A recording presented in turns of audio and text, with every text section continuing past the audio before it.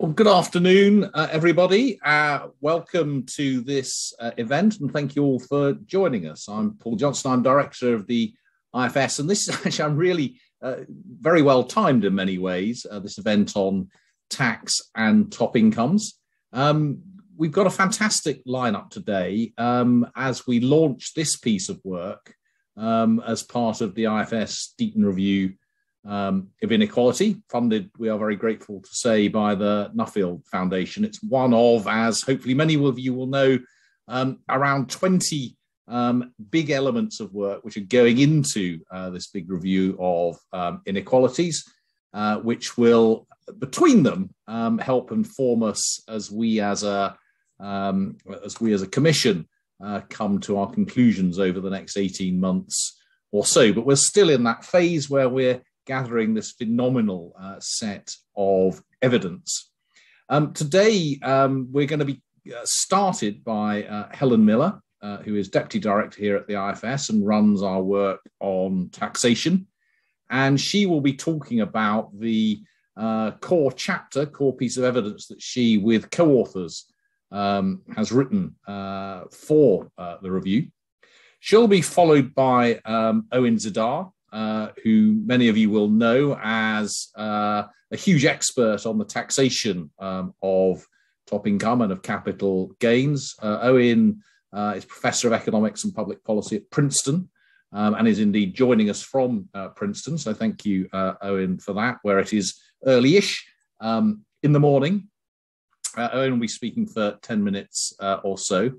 He'll be followed by Edward Troup, who is formerly the head of uh, HM Revenue and Customs here uh, in the UK. He's formerly a tax lawyer and has actually had a long association with uh, with the IFS. Um, Edward is currently uh, on holiday in Calgary, and it's about six thirty in the morning there. So thank you particularly to uh, to him uh, for joining us. Then, by the magic of um, Zoom, Richard uh, is um, uh, Richard Blundell, who uh, will be summing up um, and is a member of the uh, Deaton panel. Uh, he's speaking to us from Toulouse uh, in the south of France, where it's 2.30 in the afternoon. So we have a, an international um, panel, at least in terms of where they are currently situated. Um, if you have questions, then please do use the Slido app, for which you should have a link. Uh, we ought to have plenty of time for questions at the end. Uh, and we are due to finish uh, at three o'clock, and we will bring uh, proceedings to a close at that moment. Um, I will stop at this point and hand over to Helen, who will hand over directly to Owen, then Edward, then Richard, and then we will go into questions. Um, if you do um, see questions on Slido that you like, uh, then do vote them up because I will see the questions near the top of the screen before I see uh, the other ones. I will shush and let Helen. Great. Thank you, Paul, and hello to everyone watching. Um, I'm going to kick straight off today um, with a chart that many of you will have seen a version of before. This shows you um, the share of total income um, before any taxes are, are taken into account that flows to either the top 1% of adults ranked on their income or the top 0.1% of adults. And what you can clearly see over the last century is this U shaped pattern. And in particular, from the early 1980s, the share of income flowing to top of distribution was increasing. I think that trend was really has been behind many of the concerns about uh, top about income inequality in general, as well as top income inequality. But if you zoom into this most recent period, so now I'm showing you exactly the same data, just zoomed in to the early 2000s, you still see the increase in the run up to the financial crisis, but top income shares have been flat um, since around 2013. That's a pretty big change in a trend that was happening for three decades. I think it's fair to say there's still more for us to know both about what was driving the trend before the financial crisis, why it's flat now, and what's going to happen in future. But as things stand in the most recent year of data, we can look at the top 1% of people in the UK um, are a group of around half a million people, um, all of whom have income over £130,000. We're saying that some people will move in and out of the top 1%. So they're not the same people every year, but um, that's much income they have when they're in the top 1%.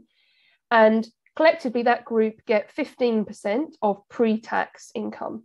That's a pretty skewed distribution. That's more income flowing to the top 1% than flows to the bottom 55% combined.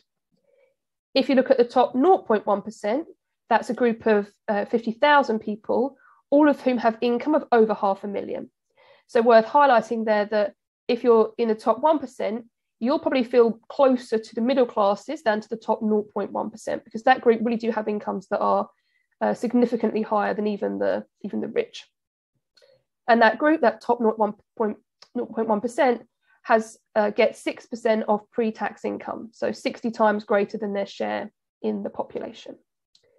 So mostly what I want to do with my time today is tell you a bit more about where that income comes from, how it's taxed, and start a discussion about policy. Um, before I do, a quick word on just what I mean here by income and what we're measuring. So most of what I talk about, we'll be talking about fiscal income, um, which we're measuring from HMRC tax records data. And you can think of this as being a very broad measure that captures almost all forms of income. So income from employment, from self-employment, partnerships, dividends, properties, investments, and pensions. Um, and it's, it's kind of the best data you can use, and it's better than survey data in that it captures people at the top uh, much more consistently and accurately. But it is worth flagging that it's not perfect and doesn't conclude everything. So there's a lot about this in the chapter, but to give you a high level sense, the main measure we're using doesn't include capital gains. I'll say a little bit about that later. But one thing worth knowing is that taxable capital gains are very heavily skewed to the top, um, but untaxed gains, which are much bigger overall and which notably include main homes, are much more evenly spread.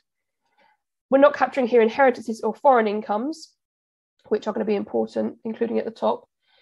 And of course, one concern that always raises when you use uh, tax data is uh, tax evasion. And in particular, for the top, people worry about the kind of offshore assets tucked in tax havens kind of evasion. So there's really not a lot of data out there um, on this. But if you use data that is available from things like Panama paper leaks or Swiss bank accounts, then a very back of the envelope calculation would suggest that the top 1% income share, which I just told you was 15%, could be one percentage point higher if you accounted for the income flowing to offshore assets. Now, there's a huge amount of uncertainty around that. So I wouldn't emphasize that number in particular. I'm putting on there just to flag that it's probably important, but it's not going to radically change um, the pictures I'm showing you. I'll also mention in passing, given that it's in, you know, in the news today, although we're not um, you know, capturing this foreign income here, and that's going to be important, um, a lot of the foreign income will be flowing to non-DOMs. So it will be important to think about the income in terms of getting a picture of income inequality for people who live in the UK. But at least under current tax rules, a lot of the foreign income won't be taxed unless it's brought back into the UK. So we'll be missing less on the tax side um, than we are just on the pure inequality side.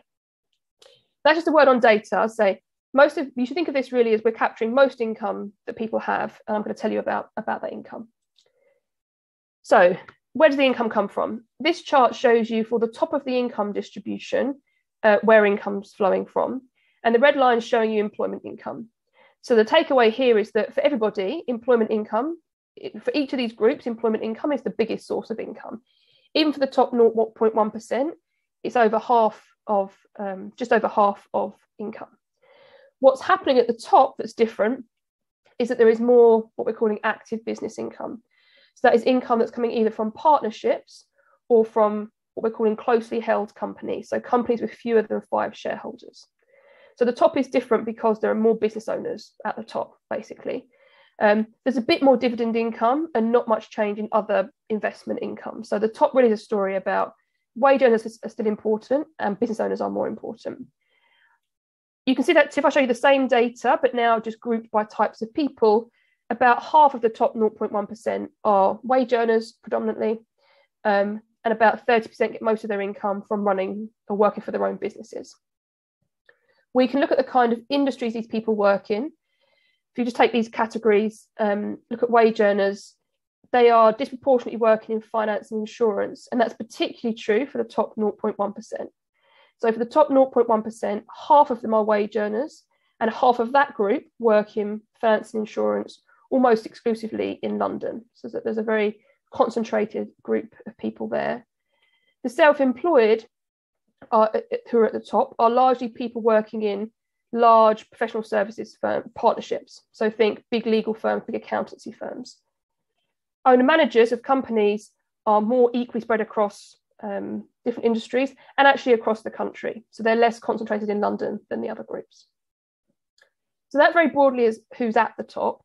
I'm now going to tell you sort of three facts about, about tax at the top. The first is that income taxes, so including income tax and national insurance contributions, are progressive. Um, I've put some numbers on the slide here. Well, that basically means that average tax rates increase as income increases. So people, on average, people who have more income pay a higher share of their income in tax. The second fact is that top taxes um, have increased since 2010. I'm not going to go through the whole list, but just to flag two big things that have changed. There's been a new additional rate of income tax for incomes above £150,000. So the top rate in the UK is now 45%. And dividend taxes um, rates have been increased too. So before 2010, the top rate on dividends was 25%, now it's 38.1%. And as a result of those tax changes, um, sort of top income inequality has come down. So this red line just shows you exactly the same data I showed you before. I've indexed it to 2009, but it's showing you the trend in the top 1% pre-tax share of income. If I now show you what happens after tax, you can see these two uh, lines are moving in the same up until the crisis, and now they've departed. So basically, tax has been doing more since 2010 to reduce post tax income shares. So in 2018, the top 1% got 15% of income before tax, and after tax, that was reduced to 11% of income. So taxes are doing more to reduce income inequality at the top. But despite this overall change in taking more from the top, what really stands out still when you look at the top is that how much tax an individual pays isn't only determined by how much income they have, but by how that income is earned. There are big differences in, in taxes across income sources. So this chart I'm going to just use to work, you know, walk through some of the examples of that. So this just chart at the moment shows you for different types of people the mean tax rate of that group um, in the top 1%. And one thing that immediately stands out is that you know, wage earners, uh, for example, have an average tax rate of 42%, whereas for a rentier, which we're defining as somebody who gets the vast majority of their income from passive investments, faces a tax rate of only 30%. Actually, if you include employer national insurance contributions, you can see that a much bigger tax penalty on employment arises. So a wage earner is taxed an average rate of 49% compared to say 42% for a self-employed person. Now, employer NICs can be a little bit tricky, and we could debate who exactly is, is paying that ultimately. But whether it's the employer who fundamentally bears the burden or the employee, it's clearly a tax that is putting a penalty on employment and encouraging people to use a self-employed or a company legal form rather than to employ people. And of course, to the extent that it is felt by wage earners through lower wages, then it's going to directly matter for income inequality of individuals. But actually, even this chart isn't showing you the full extent of all the tax differences. Another big one relates to capital gains. So we know from lots of other work that owner managers um, retain a lot of income in their companies and they later pay that income out in the form of capital gains. When they do, they can access a preferential rate of capital gains tax, which, even after including corporation tax, comes to just 27%. So, for a lot of the company managers in this graph, I mean, the yellow and blue bars are showing what happens when they pay themselves in dividends or wages in a given year. But a lot of them can actually access a much lower rate if they keep the money in their company and later take capital gains. And in fact, if they delay their capital gains until death, they'll be taxed at zero. So there are big differences here in tax rates within the within the top. So let me just finish um, my section with a, a, few words on policy, and I'm sure we'll come back to this in the in the debate. Obviously, a question that crops up in this area you know, constantly is how high should the top rate of tax be, and in particular, should it be higher? Um, the punchline here is that I don't think there's one clean right answer to that question. It depends on a whole variety of factors, including different preferences. So people will differ in their views on, on how high redistribution should be, for example. It also depends on what's driving top shares. So lots we could talk about here, but to give you just a sense of what I mean, imagine two extremes. If we think that the top actually is comprised of people who are putting in lots of effort, they're highly productive, maybe they're innovative, they're entrepreneurial, creating lots of value, we'll think differently about the top rate than if actually the top is characterized by a lot of market power, excess profits, where just some individuals are lucky enough to be able to capture that. So it matters what's going on at the top. It also matters how people respond to taxes. And of course, there's a whole variety of ways in which people respond, including real responses like how much to work and where to locate themselves, but also a whole bunch of avoidance responses like whether to take income in dividends or capital gains and how to time income. And all of those things go together to, to affect what we think the, the kind of the best top tax rate should be. But I think it's interesting to note that if you take official HMRC forecasts for the UK, then it's predicted that an increasing the additional rate of income tax, the top rate in the UK, would actually raise li- very little, if any, additional revenue. Now, there's a lot of uncertainty around that statistic, um, but it's arising because high income people are estimated to be very responsive to tax. So you tax them higher and they change their behavior quite a lot.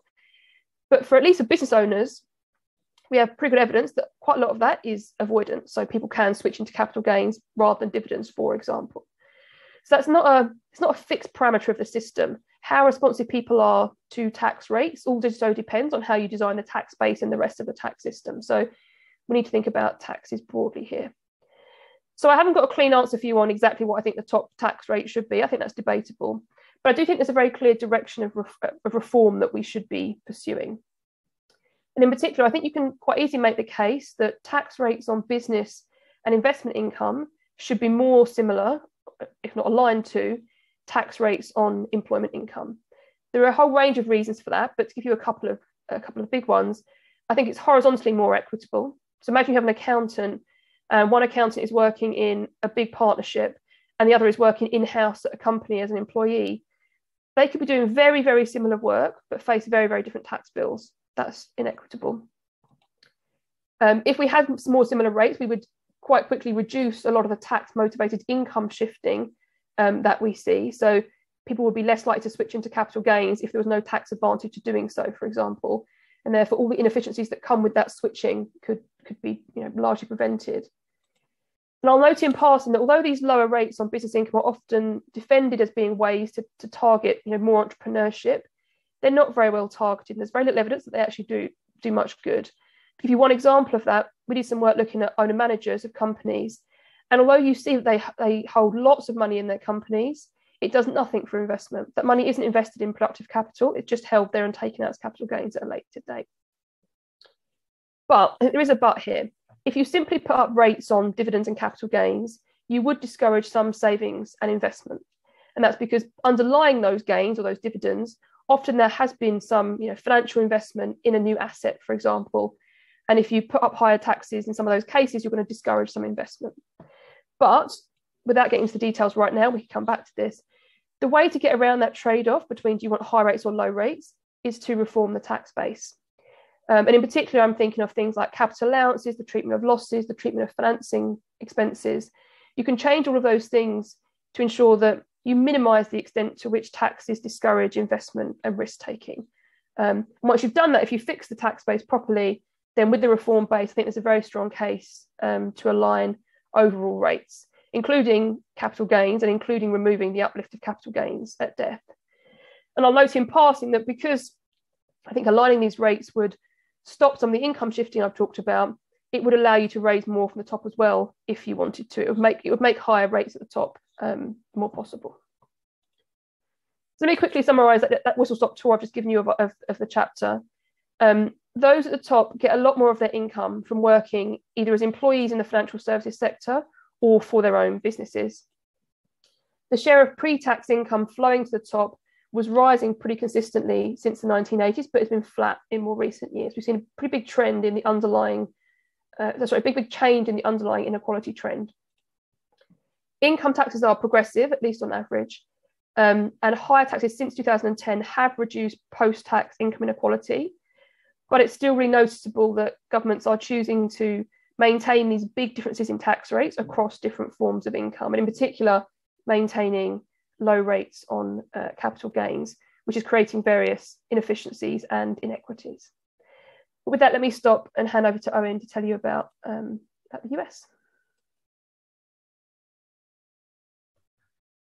All right, thank you very much, uh, Helen, and uh, thanks for the, the invitation to talk about top incomes and capital tax policy. I'm going to largely take a US view, but make some comparisons to some of the things that Helen just mentioned. So I have three main points. The, the first is that when you look at the data, there's really a striking world of business owners who prevail at the top of the income distribution, especially if you go even further in the top than the top 0.1%.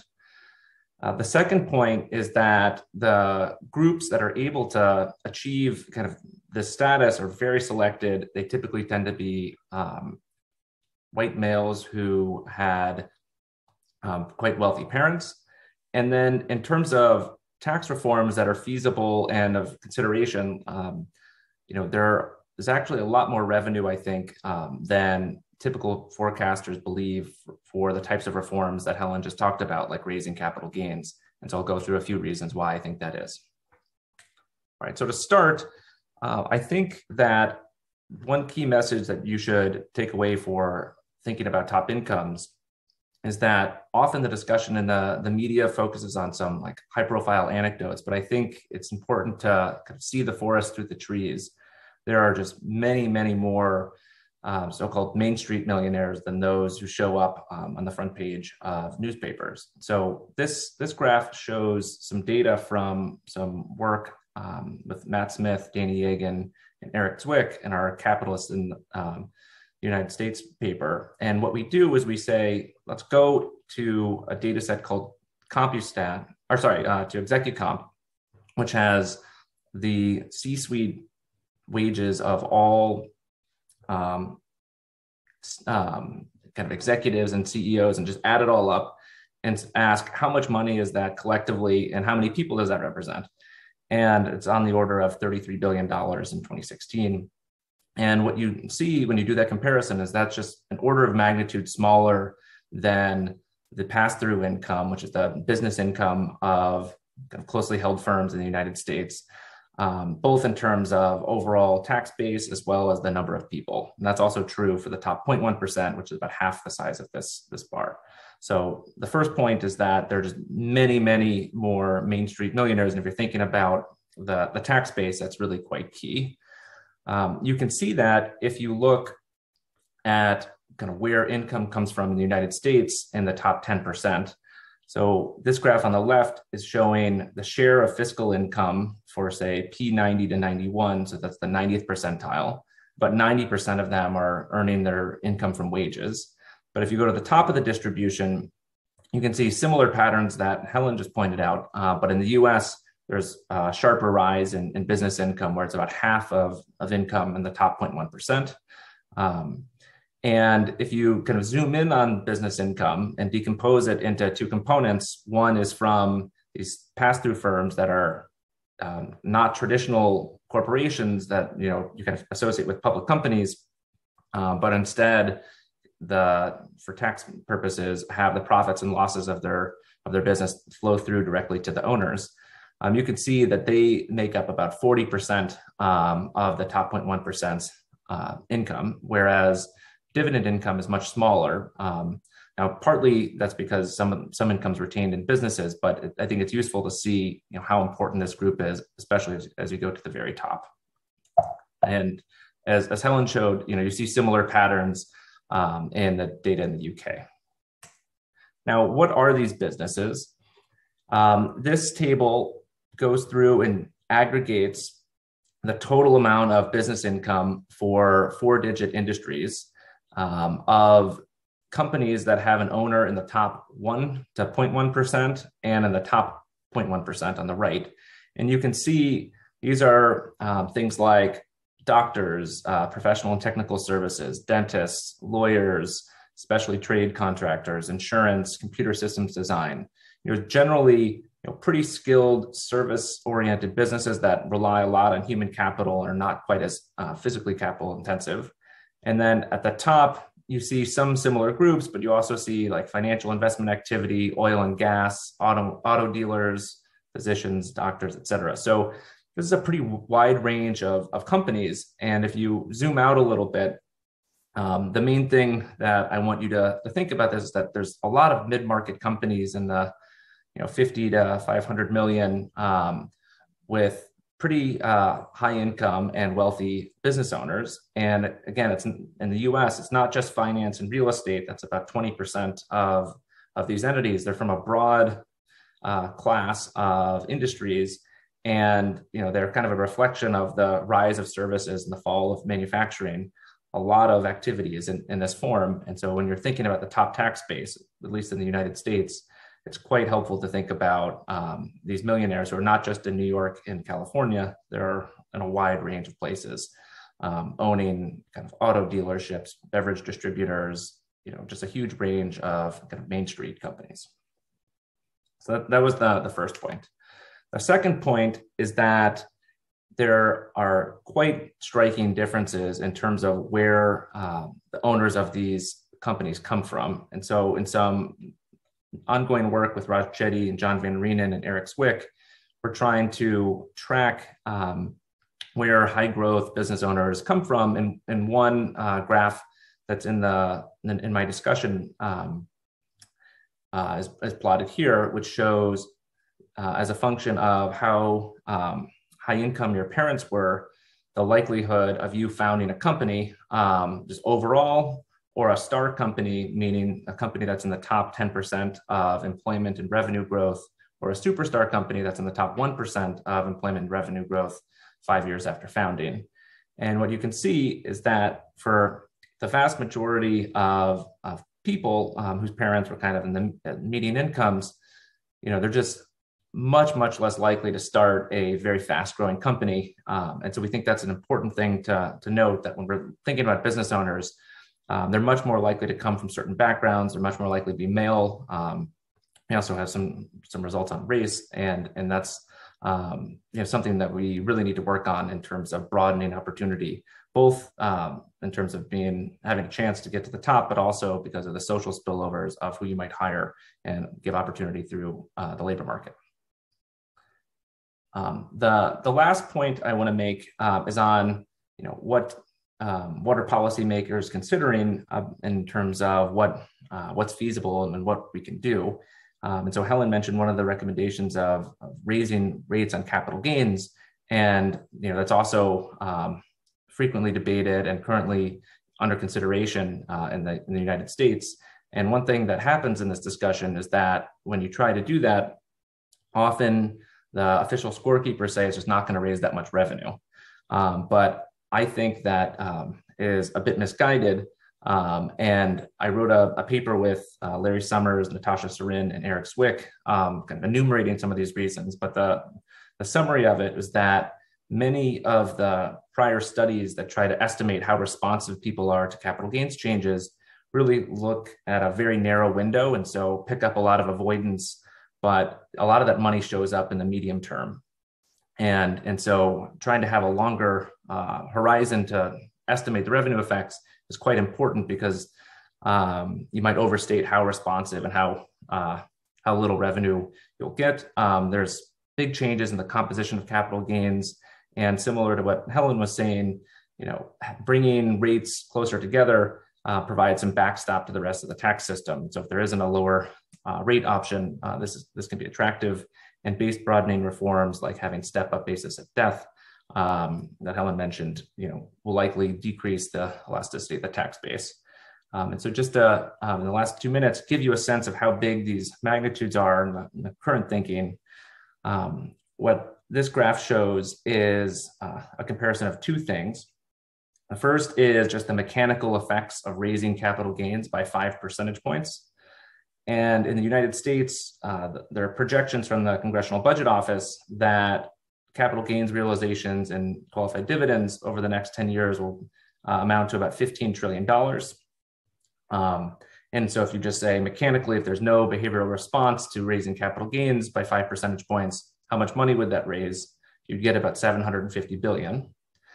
Um, in contrast, the scorekeepers from the Joint Committee on Taxation, uh, which is like the HRMC um, in the US, they say it'll only raise a little over 100 uh, billion, which is really quite uh, striking in terms of how much behavioral response they're kind of imply is implied by you know shrinking 750 down um, by almost a factor of five to seven. Um, and so, based on some recent estimates that I have from work with a grad student at, at Princeton, uh, which just came out in AER Insights, we think that you know you could actually raise hundreds of billions more um, if you account for estimates that incorporate this medium-term retiming.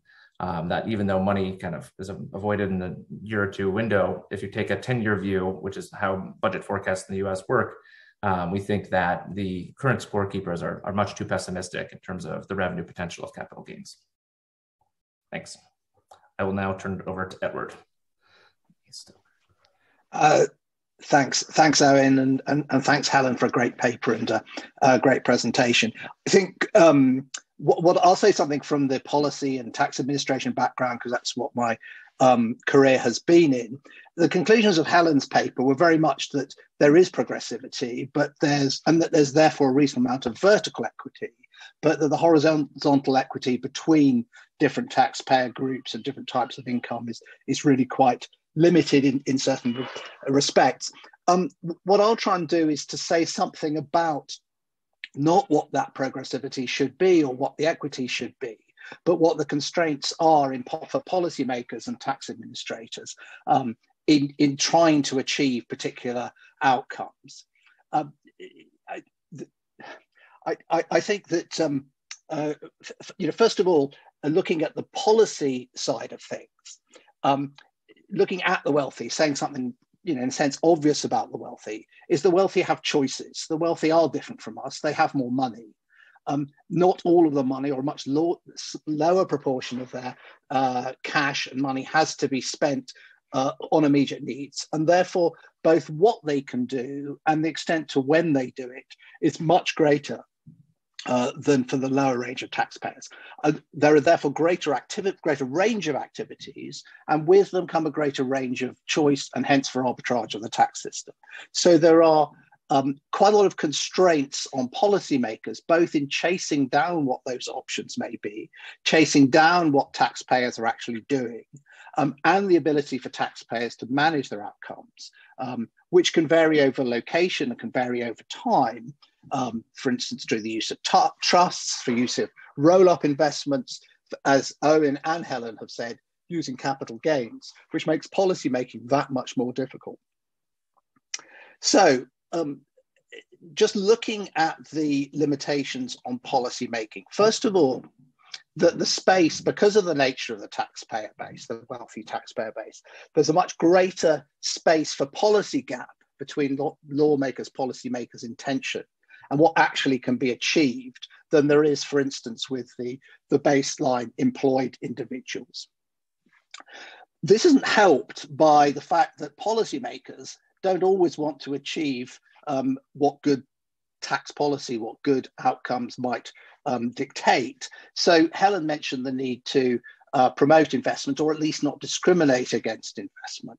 Um, one of the problems with taxing of the wealthy in the UK is that a lot of the um, what is regarded as avoidance by taxpayers um, is created through the is generated through the existence of relief, the entrepreneurs relief, the release for inheritance tax, release from capital gains taxes, um, and investment reliefs. So you have an inherent tension between achieving any sort of horizontal or vertical equity and the desire of policymakers to promote various forms of activities. So the complexity of the tax, the rich, rich people's taxpayers' affairs, the opportunities to do different things, to create new instruments, to create new forms of holding wealth, all of all create challenges for tax uh, policy. On, in addition to this, um, as I think has been implied by what Helen and Owen have said, um, geography and time both play significant, significantly greater factors in thinking about policy for the wealthy than they do for other people. The wealthy do have the ability to move geographically. They have the ability to phase the timing, definitely of capital gains receipts, but also of income receipts to um, a certain extent. And just responding a little bit to Owen's um, comments about capital gains. It's interesting to see that it, on a 10 year horizon, raising capital gains tax in the US could well raise more money. One of the problems with um, any tax policy, particularly with capital gains tax policy, is the expectation of taxpayers, of, of, of, individual taxpayers to future policy change.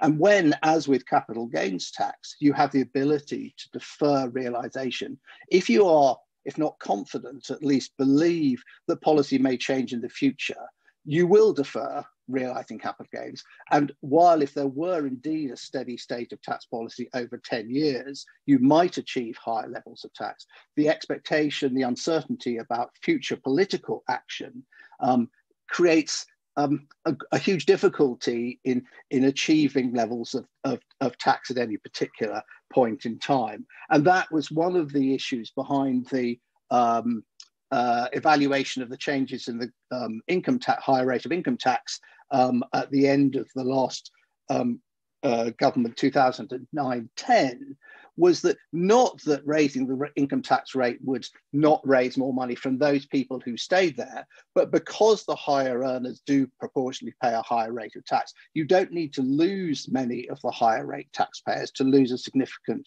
proportion of the tax base. And so the geographical and mobility aspects can disproportionately affect the yield from tax changes. At the same time, the territorial limitations on the tax base um, mean that the choices over what taxes you can change and the, the impact of that and the ability to collect taxes um, from UK uh, residents or domestic residents, if you're looking at this for other uh, other jurisdictions, is is practically uh, limited. And uh, Helen briefly referred to the non-dom rules. Now, the non-dom rules may be controversial, but the reality is that every tax system has to have territorial limitations on the on the application of it. its income tax uh, for new arrivals and indeed for permanent residents just through through practicalities. So the policy constraints uh, imposed by geog geography, uh, the national territorial nature of tax mean that uh, there are practical policy limitations on what you can do to raise um, tax from from the wealthy. Um, the other point about the wealthy, and Helen's um, made the, uh, Helen's analysis shows the extent to which there is a differential between employment and business income, at least in the UK, is that where you do look at some of the more passive forms of income, while there may be good equity cases for increasing the tax charge, um, there are both societal and practical reasons why two of the largest generators of, of wealth and income for the better off homes and pensions are extremely difficult to tax. Partly that's uh, about the difficulty of taxing capital gains, difficulty of taxing capital gains on an accruals basis, but also on the intrinsically long-term and difficult nature of, of, of pension taxation. So although we're not talking about taxation of, of wealth or we're not talking about wealth taxes, we are for you know a lot of the top 1% talking about the returns from their wealth uh, and for a lot of the as it were, the lower part of the top 1%, a lot of that wealth is represented by homes and pensions. So again, there is a significant practical slash policy uh, constraint on the extent to which um, more income be, can be taken from, from rents and from investment income because not all pensions are in, in privileged schemes. So the combination of the variety of, of the wealthy's activities, their choices over what they can do with their wealth, the temporal element of both expectation and the ability to manipulate income gains over times, territorial limits on the reach of a domestic tax system, and the practicality of taxing some of these larger um, areas of um, uh, income, wealthy income sources, um, homes and pensions, make impose much greater policy constraints on taxing the wealthy than um, some of the commentators, and indeed some of the questions which I've seen on Slido might imply. So far as administrative constraints, I mean, the HMRC tax administration uh, perspective um, is concerned, um, HMRC, you know, always inevitably get a bad press because all tax administrations do. Um, if, if you look at the tax gaps publication, you'll see that the tax gap from the wealthy is relatively small. In fact, it's much smaller, for instance, than the, the general population of, of small businesses and self-assessment from, from business where the tax gap is significantly, uh, is, is, very significant. Um, now, you know, it can be said, well, HMRC are just not finding this income. To a large extent, that is just not true. HMRC and the increasing um, growth of the international agreements on exchange of information means that HMRC does have a handle to a very high extent, uh, a very large degree, on the income which the wealthy do add, which is within the scope of UK tax. And I think the qualifier here is that the, policy practical constraints which I refer to mean that HMRC neither can nor are required to chase down some sources of offshore wealth, of which there is a legitimate debate about how and whether they should be taxed. So by and large, although HMRC are always chasing the wealthy in the sense that the wealthy do have more resources, they do do more, um, you know, they involve in more, they involve more uh, indulge in more complex schemes, by and large, HMRC are on top of it. Um, if you did want to get more tax from the wealthy within the existing rules, it is simply a matter of more skills, more intensity, more resource into HMRC. And that ultimately is just a political choice as to whether uh, you do want to put more resources into chasing the wealthy as, as opposed to more, more resources into um, ch changing the tax laws. Um, so, you know, broad conclusions for this is, is that um, the system is not perfect, as Helen's identified. Tax administration, by and large, is doing a reasonable job within the rules. There are a number of areas where the wealthy are always, as it were, ahead of the tax administration, but you know the the gap is, as it were, between the two is, is not widening. Um, and and to the extent you want to achieve both some of the outcomes which Helen has Helen's paper you know implies and the number of the questions on Slido asks for, there are very significant constraints on the ability to extend policy further and raise more money. Um, the vertical and horizontal equity are limited both by the practicalities of collecting tax and imposing policy, and not to forget that they are constrained by the horizontal equity is constrained by um, politicians' um, you know endless desire to promote business, promote investment, and those uh, forms of reliefs are inevitably and understandably always exploited by the better off, not always to achieve what, what policyholders, uh, what uh, policymakers have, have set out to, to achieve. So I, says I, I will act as a bit of a dampener on the following the discussion which we're going to have because most of my answers to the suggestions are going to be works. That's fine in theory, but it, it won't work in practice. Um, and I'll stop there and hand over to Richard. Thanks very much. I've got a few slides to share. Let me get them up there. I hope everybody can see and uh, hear me. Uh, so what I'm get, just summing up a little bit on this uh, remarkable uh, set of contributions. In fact, the debate makes me feel go back over many years of debates on tax at IFS right back to our Mirrlees review and um, the uh, the dampener coming from the tax practitioners and the excitement of the tax reformers and the theorists. Um, it's always uh, a great um, and exciting kind of interaction here. And we've got, we're right at the heart of it in this, uh, in this fantastic set of presentations. What I wanted to do here is point out a little bit about the review and then just a few points on what we've heard and how we might think about it. Um, it's a remarkable set of contributions, all live, they all went up today. And I, I wanted to add that there's more uh, just in this area than we've heard today. Uh, we've got um, a great paper in addition to the chapter and Owen's uh, wonderful uh, uh, commentary. We've got a, a, great paper by Arun Advani and Andy Summers on measurement and tax in top incomes and, and wealth, looking a little bit at wealth taxation, its interaction with income taxation too. And we've also got um, an article from uh, the great wealth tax reformers, Emmanuel Saez and Gabriel Zucman, based at Berkeley, who are, who are proposing um, a modern progressive wealth tax and telling us how to think about it. And of course, we've uh, we've heard Ed's view, and this this is a this is a very it's the way the review is happening here is we're mixing kind of theory evidence and practitioners. But there's lots more going on in the review. I just want to remind you that's incredibly related to this uh, just the philosophy and ethics of what's wrong with inequality. Why do we care about the top? Perhaps we care about their power and influence as much as the income directly that they hold.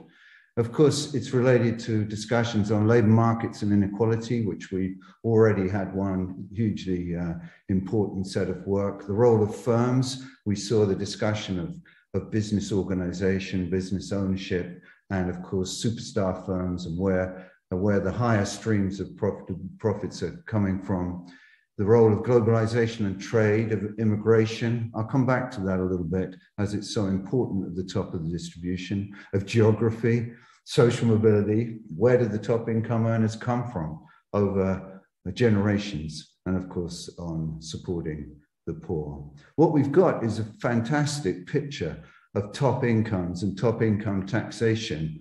And in a way, the you know the figures speak the story. I picked on three that largely come out of the chapter. But you know, this kind of picture that Helen gave, which shows the um, the differences in effective tax rates once you bring in national insurance contributions, uh, both the employer and the employee contributions across uh, sources of income. We saw how wage earners are treated differently from the self-employed. This is really the heart of part of the debate about getting the labour market to organise effectively. And then we see how wage earners and owner managers are treated differently. That's a that's a huge impact on on shifting between types of organisation and how the business uh, how businesses and workers interact. And I'll come back to this. Of course, what Helen showed and, and the work on capital gains particularly show is that given this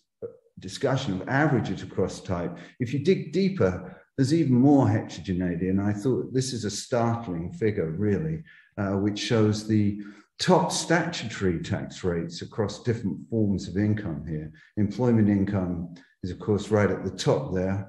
And as we go down through business incomes, we get right down to once we get into entrepreneurs relief and capital gains, we get down to very low levels of effective tax rates, uh, which every one of these presenters has discussed. And it's really key in this debate. And of course, um, as Owen and Helen showed very clearly, uh, this is absolutely important at the top because right at the top, business owners, active business income is very important. And active business income is taxed differently to wage earning income, even though to many and to a large extent, they may be doing something very similar. And if human capital is the main investment that's going on here, then why would you want to treat these differently? And that's really at the heart of much of this debate on reform. So, what I did here, just a couple of slides, of you know the picture. What does it look like? Um, is incredible concentration of income at the top, as Helen as Helen said. The top one percent receiving fifty percent of fiscal income, more than the bottom fifty-five percent, up from six percent at 1980. That was that was right at the bottom of the uh, of the U-shaped inequality uh, picture that uh, top tax share, top shares of top incomes that Helen gave, and it's actually fallen back or at least stayed pretty stable over the last decade or so, but it's still high. And to many, uh, as you're going to see, and uh, in many discussions asking people what really concerns them, that high level of concentration of income, and we'll see also of wealth, is of great concern to many people, and it's really much of the focus here.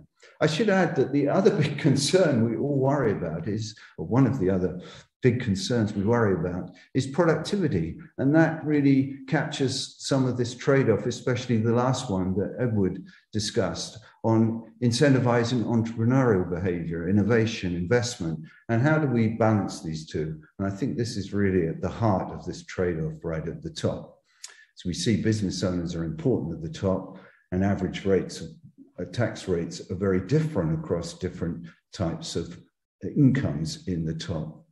What happens there is there's huge incentives for shifting, and these are largely inefficient changes in organizational form and uh, shifting from labor income into capital gains and other forms of business income, meaning that the impact of changing these income tax, the statutory income tax rates at the top, are, um, are to some extent avoided or moved out of or shifted from quite easily, giving relatively high uh, elasticities. And as we discussed, that means that the top tax rates that give you the most revenue, if you want, are, uh, are lower than they would otherwise be. If we look at the top, we see that it's very concentrated in financial services in the UK. The rather dominant thing is Southeast London and financial services, with 44% of the top 0.1% working in financial services. Quite remarkable. Uh, we can think about agglomeration, but can agglomeration be too excessive? One fact, a startling fact really, that um, Arun uh, Advani and Andy Summers have made a, a, a, a, focus on is that the vast majority of the 90% they find have observed rise in the top 1% share over the past 20 years, and there was a rise over that, has accrued to migrants, that is, those not born in the UK, and mostly in financial services. So it gives you a different perspective of who's there in the UK at the top 1% and who are the most likely to move around. And of course, much of their income, as I say before, and much of the income uh, at the top is likely to accrue to non-DOMs. We see as much as 8%, 12% in the top 1% unrecorded, undeclared in tax havens, but it's very hard to capture that uh, given the rules that we have on non-DOMs, which I won't comment on too much here. And of course, as we also discussed, the transfers of wealth, inheritance, and gifts. Uh, that's a big that's a big amount, and at the moment that's relatively lightly taxed, around six percent of GDP. And really, that's these things, you know, beginning to focus on where the big policy reforms could happen. Uh, all, of course, taken in the light of um, of tax practitioners' um, concerns about constraint on policy. But let me think about that a little bit. Uh, I call it a balance of policies. Um, we know that people worry about the top 1%, so it's on the policy agenda. Capital gains, there's a great debate about whether and how we should include them in the measurement of top 1% income, but there's no question that capital gains taxation is a key issue for reform, however we want to think about counting it, just because of the way it's taxed at a differential rate and how business owners can exploit that or use that. What we've seen all the contributors here, and this harks back to the way we thought about reforms in the Mirrlees review, is a move toward, toward alignment of at least the marginal rates across labour income and capital income, including capital gains. That's a key policy recommendation. And I think we all have to, it has to be on ourselves to really think about how we could make this happen or get towards that. Um, there's clearly, uh, so I put here, uh, base and death both matter. We need base reform, and we could go into great detail about why base reform but that's really key. It's key in this debate about um, not unduly disincentivizing entrepreneurial and innovation behavior, but it's also key in making sure that um, there's no simple escape routes for tax revenue uh, if we do want to increase uh, taxes on the top. And clearly, one important aspect of that is the removal of capital gains tax uplift at death, which uh, I notice um, is now becoming a hotly uh, debated topic of reform, uh, both in the US and here. One thing we've learned as empirical researchers is that evidence really matters here. Uh, Owen gave such a brilliant discussion of that and the discussion of Edward Troup on exactly how we think about that is absolutely key. But behavioral elasticities really matter. The mechanical effect is usually not necessarily a very good guide. And we're often led to think there will be incredible escape from uh, an increase in tax. But of course, if we change the base and we think about a slightly longer horizon, then we've seen how we can change our mind about that. And we need to think about that more carefully. But just to end, it's not just about tax. Um, these concerned about the top of the distribution uh, cannot all be addressed through tax alone. That's why it's a balance of policies. Indeed, that's why the Deaton Review is covering so many different aspects of what drives inequalities and top income inequality. And understanding the drivers of top incomes matter for policy.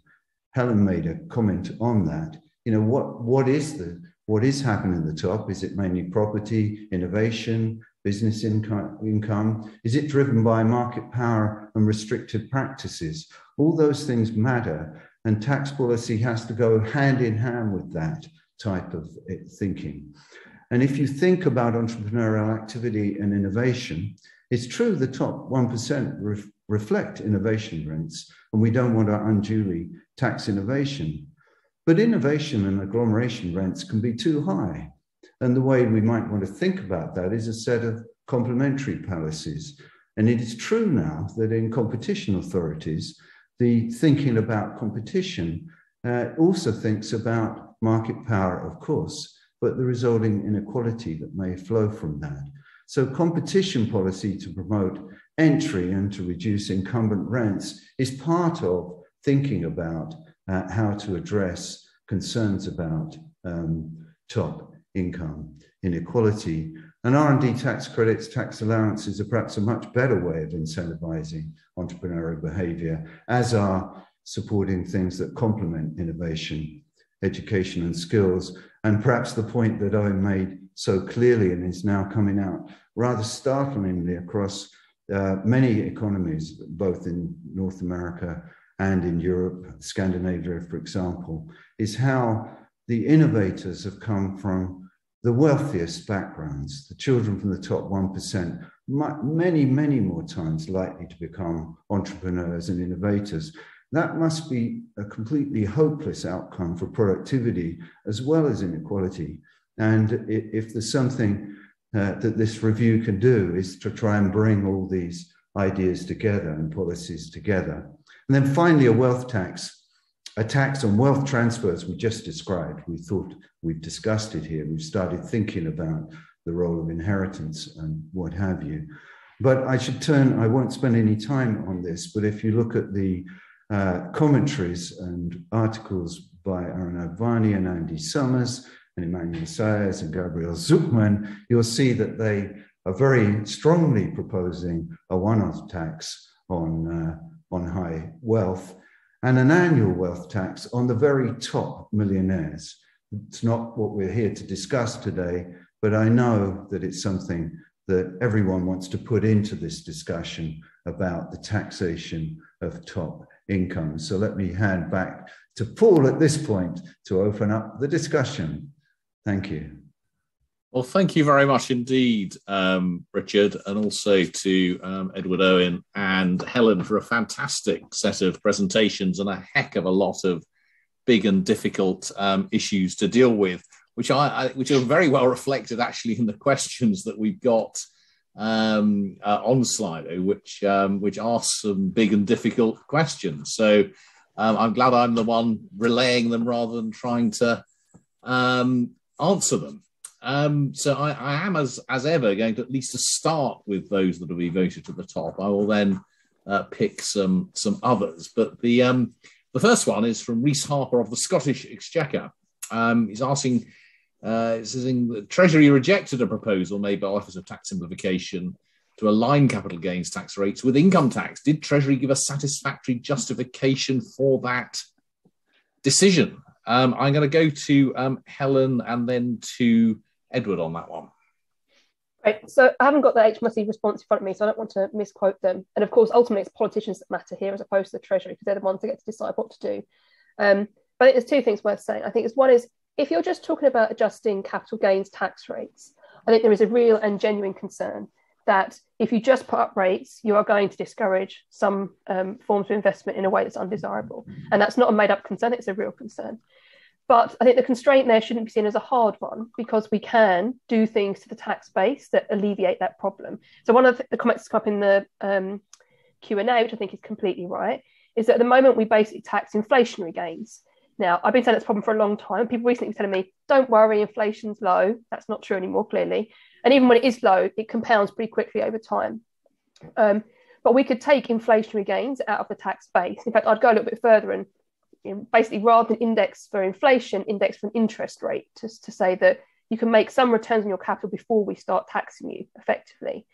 Um, so big picture, if you just tax rates up, I think there are concerns, but we can do broader things to the tax base that make those concerns, you know, alleviate them to a large degree. So I think there's no there's no justification saying we just can't do this.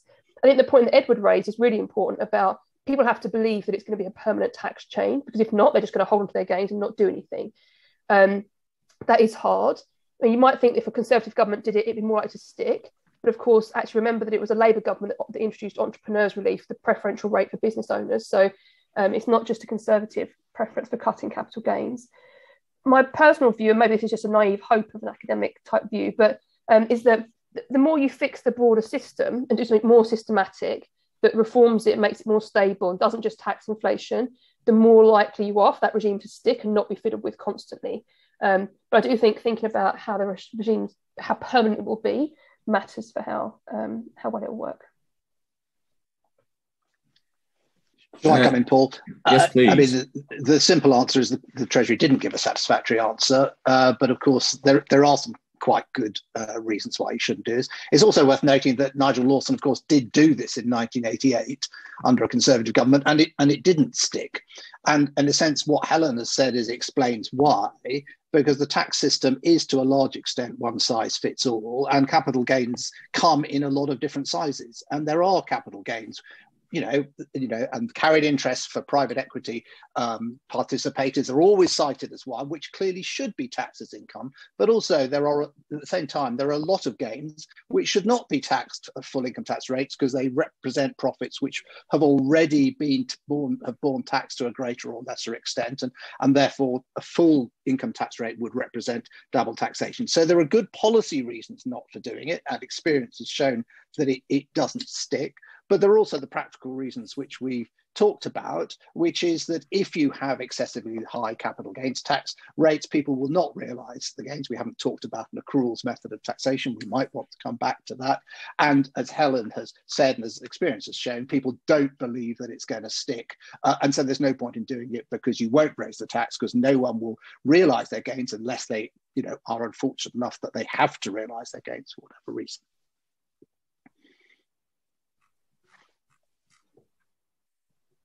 Okay. Um, I'm going to um, I'm going to give the panelists a warning uh, that um, Jeremy Moore's question you see here, what would be the least bad way to take an additional one percent of GDP from the top one percent?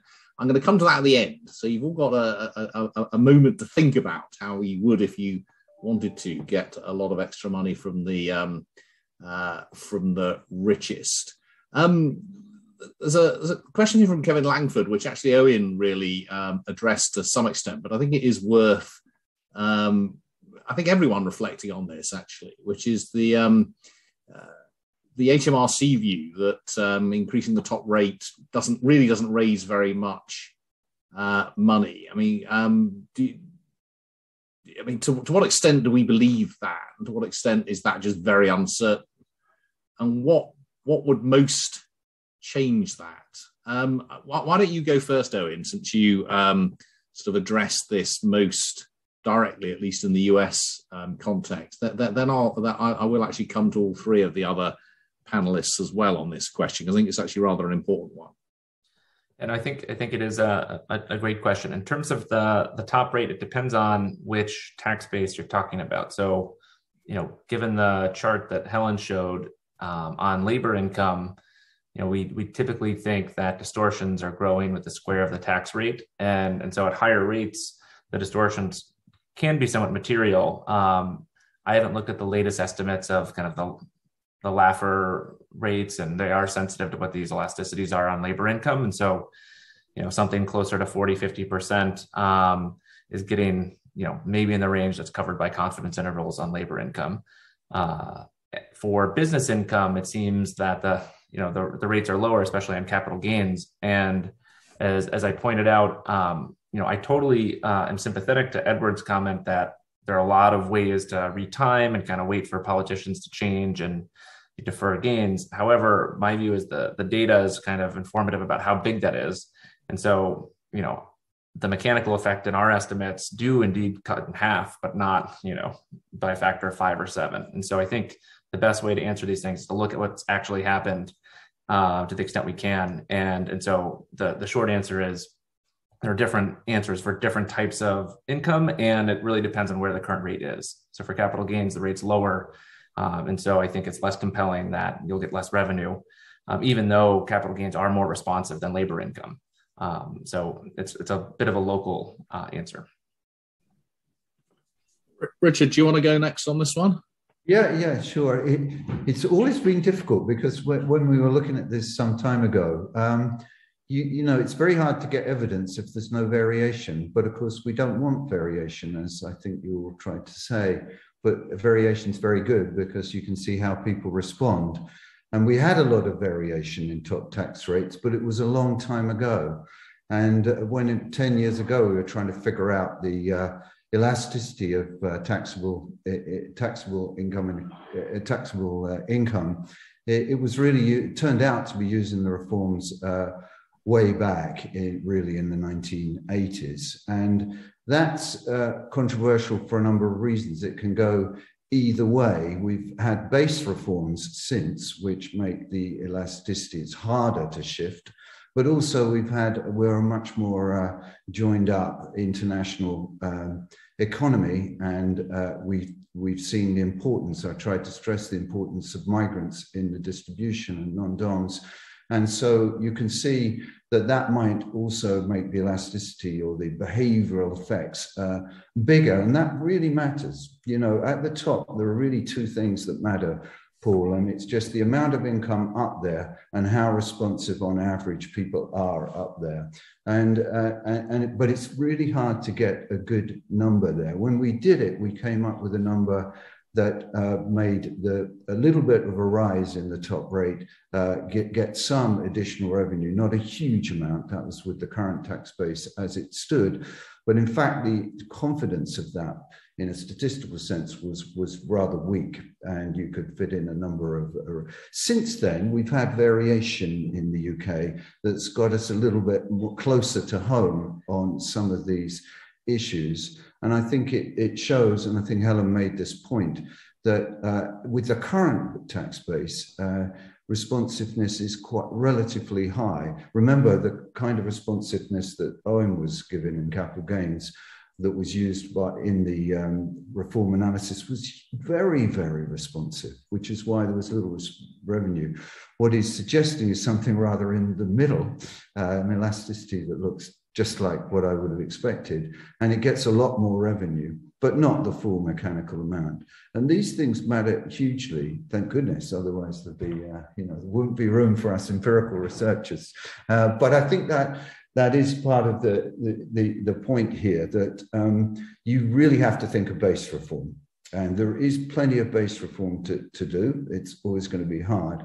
But the empirics matter. And I think that's, I agree in a way, this debate that we're having, including that Edward's put forward here, you know, it's not black and white, this. Uh, and um, you, it, we look at behavior and we see what we can find, and uh, then we think about setting the rates. And I think there is room for base reform in a way that would allow us, if we so wished, um, to increase uh, rates and align them, uh, rather like uh, Helen's um, Helen's ambition. I'm going to say now is.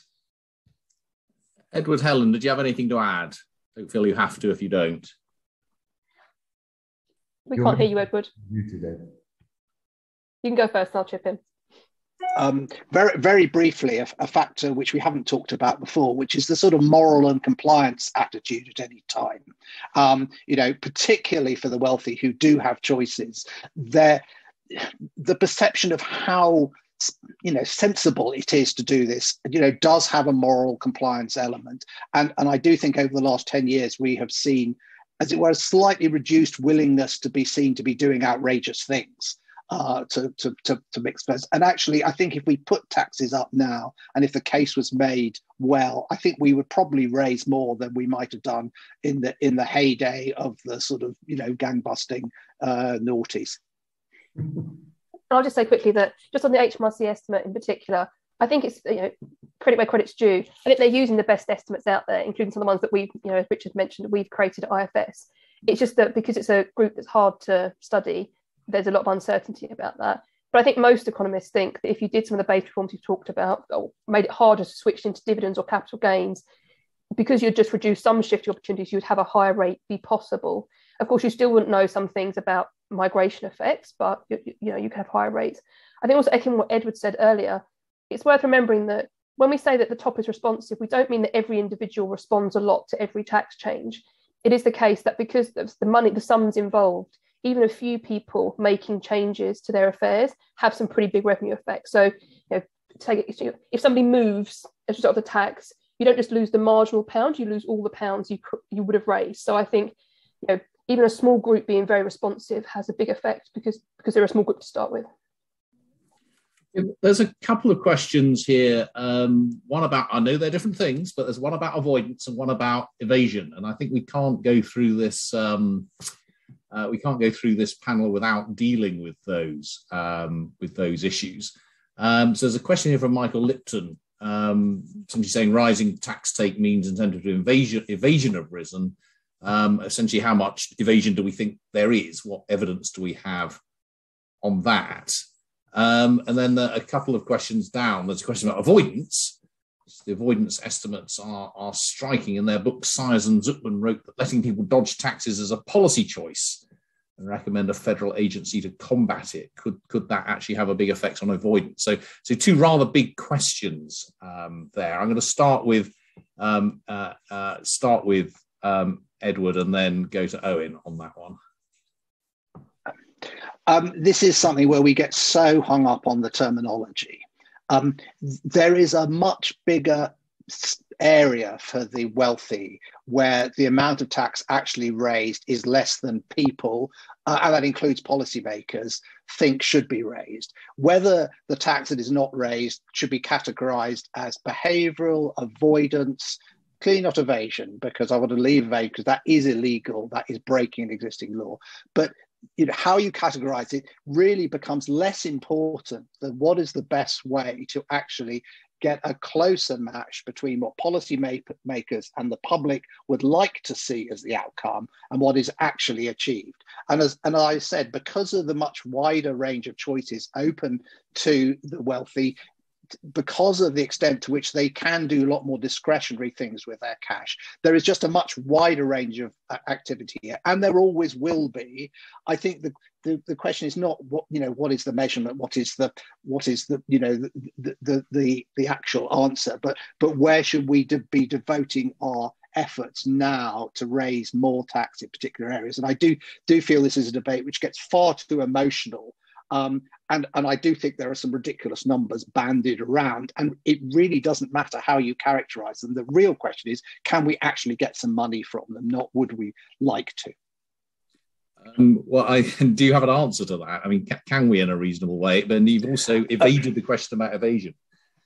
Um, well, let, let, me let me deal with the question about evasion because because evasion is, is simply saying the law law is clear and these people are breaking the law. By and large, the, the wealthy, at least in the UK, and there's a long strong local element to this, do not break the law they do comply with the law um, simply because they have got so many economic interests. They're so embedded into the national system, into the laws, the regulations, the, the society, that actually breaking the law and doing something illegal for which, you know, there is both criminal and potentially, you know, jail sanctions for, that they don't do it. What they do is they push the boundaries of what the law allows as far as they possibly can with the aid of good advisors. So I I do believe the HMRC tax gap estimates of evasion by the wealthy. That's not to say that I think that it's right that these people should be allowed to maintain trusts in the British Virgin Islands or wherever it is. I, am just saying it's not illegal for them to do it. It's not evasion. If we can, and we are progressively finding ways where we can legitimately, lawfully, and effectively tax them, that we, that we should be doing so. Where are the areas where we can actually do more? Um, in, in raising tax. It, it is, I think, a large extent, But first of all, I don't want to come back to non-DOMs, but I think the non-DOM rules have got further to be rolled back, and clearly our chancellor may have some conflicts conflicts of personal interest if he seeks to do that. But I I don't want to go there. I do think some of the areas which Helen has talked about, which is the the treatment of business reliefs, and I do think there is scope for exploring at least in some areas a greater degree of accruals basis of taxation but only in some limited, you know, really quite top end um, areas of, of, of, of activity. Owen. Yes, I, I think um, that that generally uh, the point by Emmanuel and Gabriel is, is quite right that avoidance is a, is a policy choice. So I think the base reforms that Richard was talking about, things like step up at death or you know the ability to relabel income um, of, of, different forms into lower rates is really quite important for how easy it is to evade. In the US version, uh, there's also how well funded the IRS is. So the Internal Revenue Service is horribly underfunded, and the ability to track down and follow the money for quite complicated entities is is um, very much limited by these resource constraints. And so I, I don't have as good of a sense on, on what the current status is in the UK. I'd imagine it's more reasonable than what we're doing. Um, but that's you know that's very much a policy choice. Like we should do much better on that. On evasion, um, I think that you know the general trend of governments co- coordinating with each other and things like FATCA in the U.S. or on the on the business side, um, thinking about the BEPS process you know, is, is generally helping us do a bit better because there really is a lot of um, you know patterns that just don't line up with what you'd expect to see you know things that are an order of magnitude larger than gdp in terms of activity um, that are hard to rationalize. And so i think some coordination is is is good. In terms of the magnitude of evasion you know there are estimates from linking the panama papers to administrative data or there's some nice work by daniel reck and uh, gabriel zucman and uh, max risch um, and John Guyton, you know, doing that in the U.S. In general, some of these things are a little hard to get right. There's a lot of decision choices, but it's pretty clear that you know putting some resources behind doing a better thing is is um, is a, is a quite reasonable thing both for fairness and for revenue, um, especially if you're starting from a low base where you're not putting that much money behind it. Great, thank you. Um, there's a couple of questions from um, Hilary Cooper here. I'll take one of them very quickly, which is would it be a quick win to put something equivalent to NI on high income pensioners? I think the answer is um, economically yes, politically probably not for the party that tried to do it, uh, economically because most occupational pension income has never been uh, subject to any national insurance either. So they've got it, it, it, it doesn't uh, doesn't attract national insurance at any point. There is a strong economic case for putting some additional um, levy on occupational pensions in payment. Uh, but I think the chances of it happening, uh, given the propensity of pensioners to vote, and particularly to vote with this government, I think the chances of happening are, are close to zero. Um, uh, there's another question here also about the effect of the zero rate on capital gains at death. I don't know if anyone, I don't know, Helen, if we've got any idea of what you or, or, or, Edward, what, what, what might we raise? How might people behave if one were just to get rid of that, um, uh, get rid of that relief at death? So the OTS, excuse me, has a number that they said removing it they thought was about 1.6 billion. But for all the reasons we've been discussing, including the reasons that Owen set out, there's a, just a ton of uncertainty about that. It really would depend on how people would respond and if they believed it was permanent and all that kind of stuff. Um, I think you know what, worth bearing in mind is that the reason to do it, well, lots of reasons to do it. One reason to do it is to stop it being a backstop to other problems. So if you put up main rates of capital gains, you would get more capital gains at death, and that would therefore be a, a sort of more valuable route for people to use. So what you don't want to do is have main rates go up and then push people to wait until they die. So in some ways, it's not just it doesn't matter just much how much we're spending on it right now. It's that all the time it's there, it prevents us from doing other things to capital gains because it's it's an outlet for gains to go to. So um, yes, uncertain about the number, but it's really about that backstop role it plays. I think. Does anyone want to add anything to that? Actually, yeah, one, one thing. So in the, the Biden administration's uh, most recent budget proposals, if you are a tax nerd like myself and look at the, the Green Book, uh, they have an estimate of how much step up basis at death would would raise. Um, I don't remember the specific number off the top of my head. I, I remember it's on page 31, but I don't remember the number. The, the difficulty is that there's very little evidence on what happens if you make this policy reform. And our understanding of capital gains behavior is quite limited. Um, and, you know, we did some back of the envelope work in the paper with uh, Larry Summers and Natasha and Eric Zwick that like half of gains aren't taxed. Um, so I don't know if it's the same in the UK, but it's a pretty large amount of, of resources. And you know, economically, if you think there's a lock-in effect, uh, especially towards towards death that people are waiting for, there, there's some efficiency gains as well potentially from from this policy. Yeah, absolutely. I think the efficiency gains are potentially quite big. Do we have any idea, Helen, what, what fraction of capital gain, gains actually end up not being taxed because they're kept until death? Do we have any idea at all? Um, I, I, don't think we know. There are some numbers in the paper and some other bits, but we know, for example, that most capital gains aren't taxed because they're in housing. So the big untaxed capital gain here is, is primary residences. Um, I don't think we. Actually, I don't know. I'd, I'd have to check. I don't think we know. Have a great number on on the on the death. Does, does, does, does bring to mind the famous um, change in inheritance tax in Queensland when inheritance tax went from positive to zero. People managed to sort of hold on for a few extra days to avoid the inheritance tax. I wonder if um, you went in the other direction and um, uh, wonder if you'd have the same same say you'd have the opposite effect if you took capital gains tax from zero to positive and people actually would leave this earth a few days earlier than they might otherwise have done. Um, uh, let's uh, one last question before I come to the, uh, the, the, the, Jeremy Morse question. I, think, I don't know whether you wrote this, Helen, but it's certainly um, one for you. Um, how do you change the tax base so as not to discourage investment while equalising tax rates? I'm, I'm not a mole behind it. I didn't actually write this. Um, so, uh, without staying another half an hour lecture, I think one way to think of this is that if you take the return to investment, you can sort of think of it in two parts. Um, so, part of it is just what an economist would call the normal rate of return. You can imagine if you put your money in a bank account, um, you're partly getting a return just to reflecting the fact that you've got to wait for your money. You're just sort of doing normal savings. And when you're putting money in an asset in a business, part of the return you're getting is just a, is just a delay for waiting, or it's a compensation for inflation. And if you tax that part of the gain, then you're discouraging people from, from making those investments. Whereas another part of the return, sort of returns above the normal rate of return, are the kind of profits you're making. So the sort of broad conceptual idea here is don't tax the normal rate of return, let people have the sort of normal um, investment returns and do tax everything above that.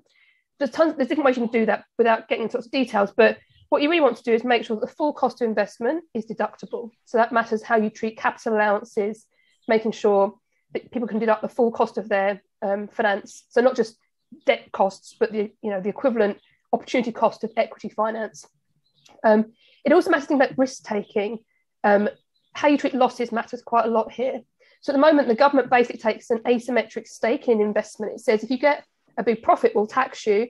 If we get a loss, we'll offset them, but we usually offset profits at lower rates than we tax um, gains. And at the moment, if you put up the profits tax rate and you don't change losses, you're making that more asymmetric. But rather than just say, well, take somebody who's starting a business, let's give them low rates in the future if they're successful. Instead, you can basically say, well, let's give them more insurance up front and say, if you make a loss, we'll you to offset those losses more flexibly. So basically, you want to um, change the upfront treatment of investment so that we're not penalizing people who are investing and then and then increase increase the rates. But there's much more about that in, in the chapter and other places we've written that people can follow up. Well, let's um let's move on to the, the final. Sorry, can I just can I just yes. br- briefly I, on that? And Helen and I will take it offline. But the reality is that most investment is made uh, made by companies, not by individuals. And most individuals make investment because they think they're going to make a million or a billion, not because they're worried about the tax treatment. So I don't think there's much we can do well, just, just but we'll, we'll, take it offline. But just on that, I mean, in some ways, if they're not worried about the tax treatment, then great, put their tax rates up. It's not affecting them. Um, so it's uh, in some ways, I think, I think we're, we're agreeing on the fact that the lower tax rates here aren't providing, aren't making people switch into being entrepreneurs. I think that was uh, the. I think that was the implication of what you were saying, Edward. Um, yes, it was. Yeah, great. Well, there we are. So that might, might be part of the answer to this uh, last question.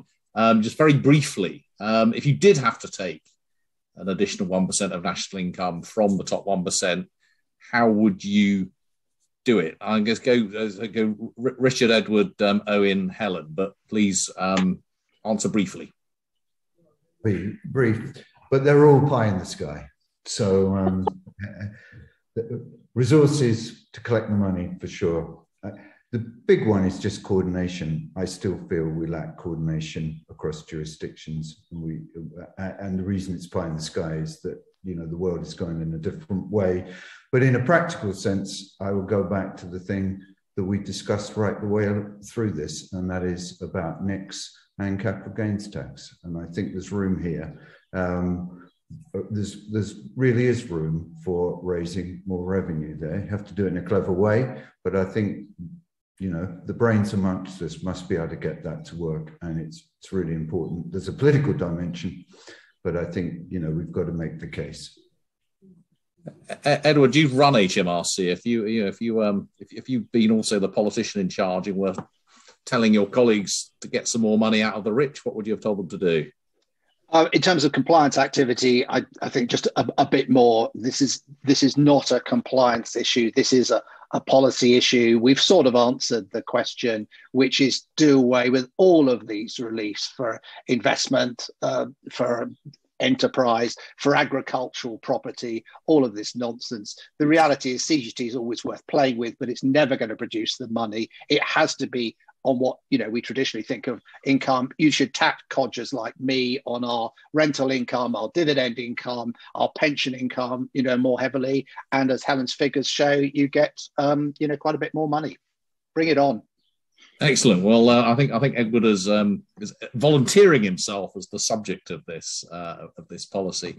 Uh, Owen, um, the the U.S. version of it, Eric Zwick and I had this proposal uh, called Party Like It's 1997, which basically rolled back the tax code to 1997 in the U.S., which had higher dividend taxes and a state tax with more teeth and lower exemptions. And so I think that direction, higher capital gains um, that direction is uh, is reasonable. I think a balanced approach. Um, in the, the UK version, I think you know step up at death and inheritance taxes are really uh, or silver spoon taxes, you could think of them. Um, I think are quite important and is is uh, and I agree with Edward and Richard on capital gains taxes and other base broadeners. I love it. Party like it's 1997. Helen. Um, so look, clearly, one percent of national income is a lot of money, especially if you're going to try and get that just from half a million people. There's no one tax rate you're going to change; it's going to get you that. You have to do a package of things. So again, I think it has to be a combination of changing capital gains tax rates, dividend tax rates, rental incomes, um, a bit more compliance money, plus things outside of income tax. So to mention one UK one, council tax, horribly regressive, horribly out of date. Um, big big breaks at the top. We could we could get more from that group in a broader sense than just thinking about income. So I think we do have to look at the tax system as a whole. And if you want big money, you've got to do a bunch of things and be bold. Well, that's probably quite a good place to um to, to, to leave it. Do a bunch of things and be bold. Um, it's not a bad it's not a bad motto actually for many things. Um, thank you everyone for for listening. Thank you um, uh, to, to Richard, to Edward, uh, to Owen, uh, to Helen, particularly to um, Edward for getting up extremely early and, and for getting up quite early in order to uh, to do this. Thank you all for listening. And as I said, this is one of many um, outputs from the IFS Deaton Review of Inequalities. We have several more over the next couple of months, particularly focusing on things like education um, and the family, um, which uh, and, and, early years uh, issues, which are very different from this, but also very important in understanding inequality and understanding what you might want to do um, about uh, inequality. So look out for uh, for those things coming up. Um, and uh, thank you very much for uh, once again for listening.